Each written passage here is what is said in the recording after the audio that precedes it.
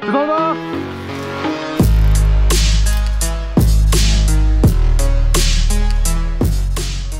안녕하세요 모커입니다. 이번에도 MTV 공원 필드로 돌아왔습니다 오늘 사용 장비는 HFC사의 VSR11S 버전입니다.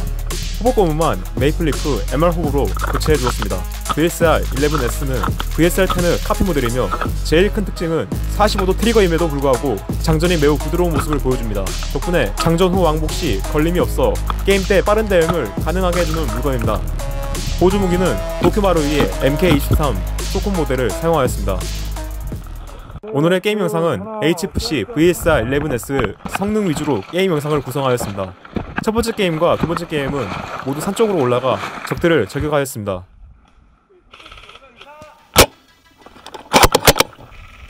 필드에 장가지나 나무가지가 많아 생각보다 적들을 맞추기가 어려웠습니다. 덕분에 적들을 저격할 때 단순히 적을 정교전하는 것과 별개로 이러한 상황들을 어느 정도 감안하여 저격을 해야 했습니다.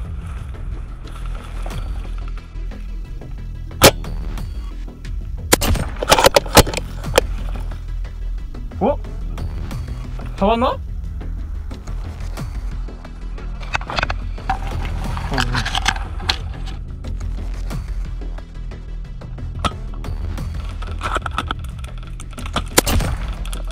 가자. 진영을 바꾼 다음 게임은 대나무 숲 옆에 물이 흐르는 쪽에 숨어 적이 다가오기를 기다렸습니다.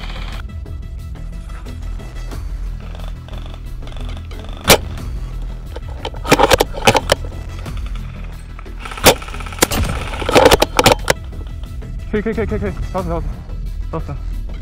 네. 다음 게임은 중앙의 숲길을 뚫고 가기로 하였습니다.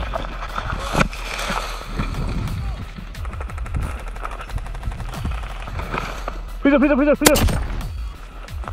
중앙 숲을 커버하던 적을 잡고 나서 저는 대나무 숲 근처에 있는 적에게 다가갈 수 있어서 천천히 조심스럽게 충분한 사격각이 나오는 곳까지 다가갔습니다.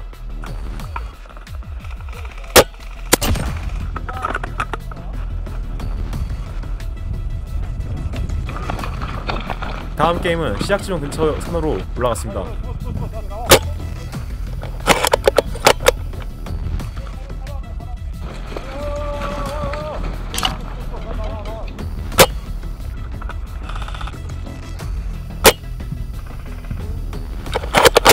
적에게 탐지당하여 저는 몸을 건물 더미 뒤에 숨긴 채 권총을 들고 적이 다가오기를 기다렸습니다.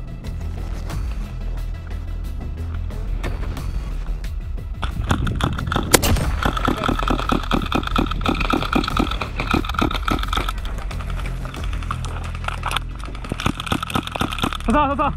아. 진영을 바꿔서 다음 게임은 다시 산 쪽으로 올라갔습니다.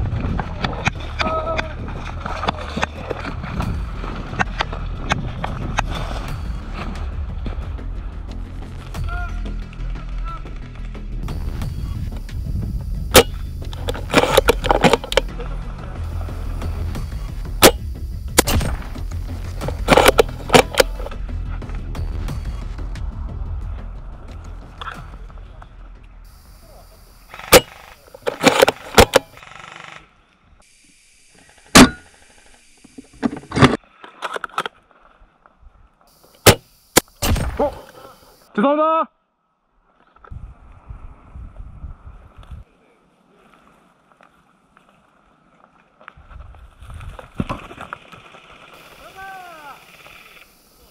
저를 잡으러 오던 아깝다. 적을 아군이 잡아주면서 제가 다행히 재밌었는데. 살아남을 수 있었습니다.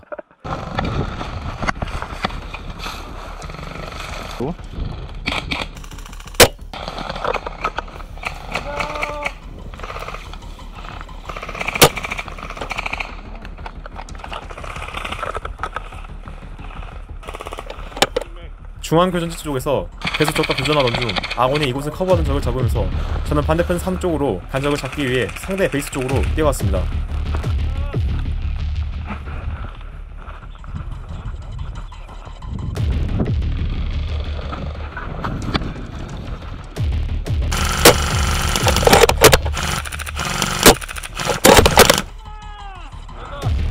진영이 바뀐 다음 게임은 시작하자마자 산 쪽으로 뛰어갔습니다.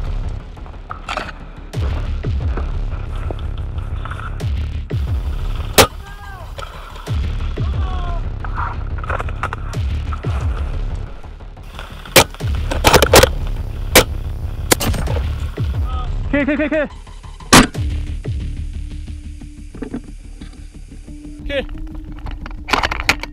다음 게임은 중앙 수풀 더미를 뚫고 천천히 적진으로 다가갔습니다.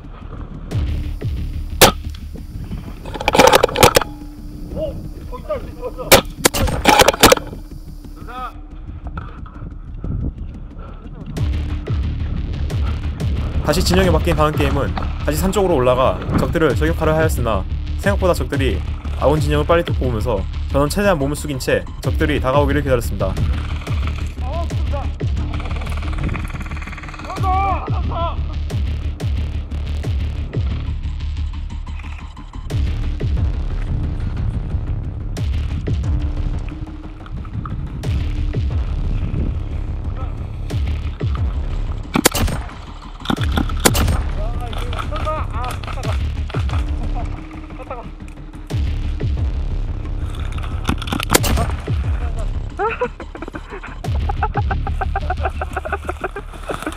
마지막 게임은 시작 지점 근처에 숨어 적들이 다가오기를 기다렸습니다.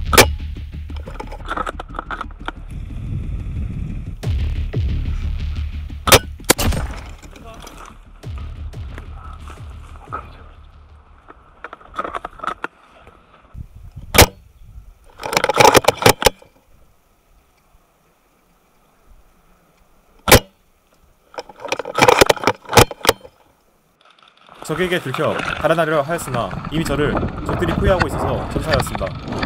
HFC VSR11 S 버전은 무난한 성능을 보여줬습니다. 장전이 매우 부드러웠다는 것이 상당한 이점이었고 hop-up 고무만 바꿔줬는데도 이날 바람이 어느 정도 불었다는 것을 감안하면 어느 정도 괜찮은 집탄을 보여줬습니다.